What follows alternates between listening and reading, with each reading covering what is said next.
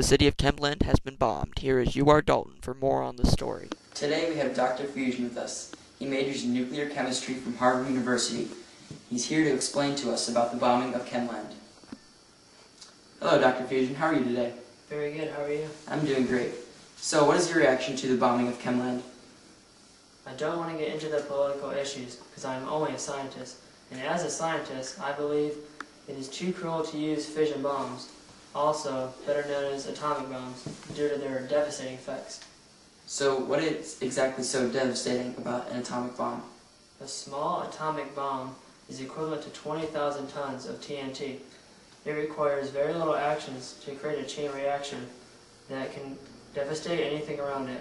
Here is a demonstration of a fission reaction. Hi, I'm Dr. Tumashstein, the resident computer modeling expert here at Channel 12 News. What you're about to witness is a recreation of a fission reaction. Please keep in mind that this is only a computer-generated model. It is not entirely accurate, but gets the idea across. Firstly, you'll notice this red shape at the bottom here. For right now, we'll call this uranium-235 since it is a common ion used in fission reactions. Also note that the individual pieces of the uranium-235 ions are not subatomic particles, but are supposed to represent segments of an atom breaking apart in a fission reaction. Now, one thing you'll notice is a uh, large object moving towards the uranium-235. This is supposed to be a neutron, but would be much smaller relatively. Upon the point of impact with the uranium, you'll see that large amounts of energy are released. This is because the splitting of an atom releases lots of energy, which makes it useful in both warfare and as a power supply, but also it generates a lot of deadly radiation, which makes it a very controversial weapon of war, and also a very controversial uh, method of producing energy.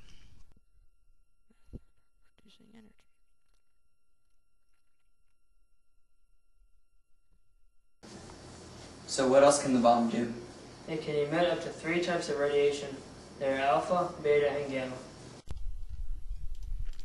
Hi, this is Dr. Tumashstein again here to talk about different forms of radiation and decay. What I'm going to show you now is an example of alpha radiation.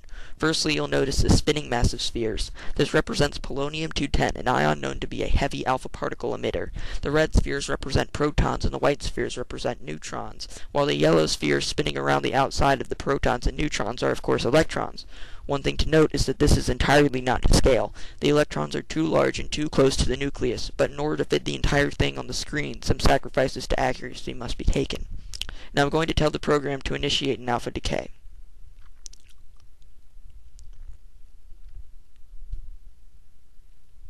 Okay, what you see here is two protons and two neutrons whizzing away from the atom. This is an alpha particle or a helium plus 2 ion. This form of radiation is actually not too dangerous. Because it is a relatively large particle, it can be stopped very easily and can only move at most a foot or two in our atmosphere. The alpha particle cannot even penetrate human skin, making it easy to protect against. The only problem with alpha radiation is that in inhaled or ingested, there isn't any line of defense to protect cells, and the alpha radiation can cause damage. Okay, so here's an example of beta radiation. Again, here's an atom where the protons are denoted by red, the neutrons by white, and the electrons by yellow. Beta decay takes two forms beta positive and beta negative. Beta negative describes an electron that escapes the atom. However, while it is exactly the same as an electron in charge and mass, beta particles are formed when a neutron decays to a proton and an electron. This process increases the atomic number of the ion by 1 while maintaining the same mass. This process is called beta particle emission. Here is an animation of beta decay. You'll see that the, an electron is propelled from the nucleus of the atom. Okay, so now we'll reset the model.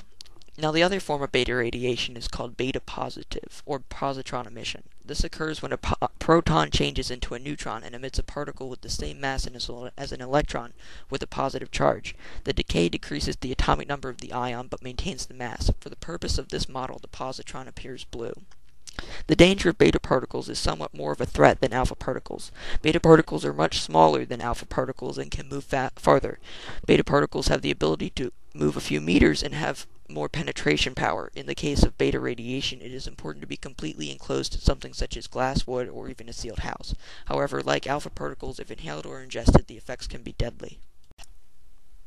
Gamma radiation is the most dangerous type of radiation. It is the direct product of fission and fusion reactions and is actually just high frequency electromagnetic energy. Gamma radiation has enough penetration power that the only way to protect against it is with several feet of concrete and multiple layers of lead. Gamma radiation has the capability to literally melt living flesh. In this animation, these spheres will represent a living cell. The block in the middle represents a standard wall in any house. Now, if we turn on the gamma radiation, you'll notice that the pieces of the cell are getting blown away despite a solid wall between the gamma radiation source in the cell. Again, the only way to truly protect against gamma radiation is with several layers of concrete and lead. With the exception of the initial blast, the gamma waves are the most deadly product of nuclear bombs, mainly because they travel much farther than the blast. So are you saying we should never produce nuclear energy? No, the United States actually takes its devastating powers and converts it to electricity for everyday use. Are there any other disadvantages, though?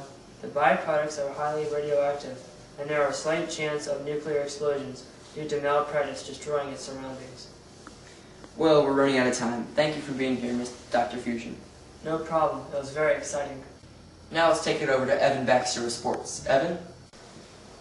So, starting with hockey. In a playoff game between the Blackhawks and the Sabres, the Blackhawks beat the Sabres 8 to 1, and things just got uglier when in the third period when there was a lot of fusion between the two teams. Let's check out the footage. The, these players get famous pretty quickly, and it's pretty easy for them to get hot air in their heads. These guys apparently had so much that they became light enough to become hydrogen atoms. If it had been 2 billion degrees hotter, these guys would have formed helium faster than you can say a word. Thank you, Evan. Well, that's all we have for you tonight.